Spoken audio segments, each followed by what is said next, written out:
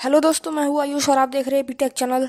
और दोस्तों, आज Mother's Day happy Mother's Day. और दोस्तों, आज मैं आपसे बात करूँगा कि दुनिया का सबसे पहला टीका किसने बनाया था, और क्यों बनाया था, और कब बनाया था। दोस्तों, महामारी के खिलाफ विश्व को पहला टीका एक माँ ने बनाकर दिया था। दोस्तों, ये बात सत्रह सौ इक्कीस यानी अब से तीन सौ साल पहले की है। ब्रिटिश में एक माँ थी, उसका नाम मैरी वॉर टेलू मॉन्टेगू था। वो दोस्तों वो नहीं चाहती थी कि उसकी तरह उसकी बेटी के चेहरे पर भी चिकन पॉक्स के दाग हमेशा के लिए रह जाएँ और उसकी सुंदरता खो जाए, इसलिए उन्होंने वैक्सीन बना दी। तब दोस्तों चिकन पॉक्स एक जानलेवा बीमारी थी और पूरी दुनिया इसकी चपेट में थी।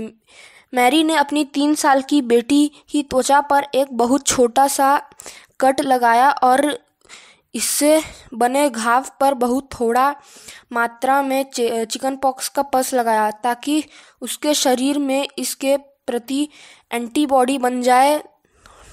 टीकाकरण का यह तरीका मैरी ने टर्की में सीखा था। तो दोस्तों, कैसी लगी ये वीडियो? प्लीज़ बताइए, लाइक करिए, शेयर करिए, और अगर आप इस चैनल पर नए हैं तो इसे ज़रूर सब्सक्राइब करिए। दोस्तों, मिलते हैं नेक्स्ट वीडियो में।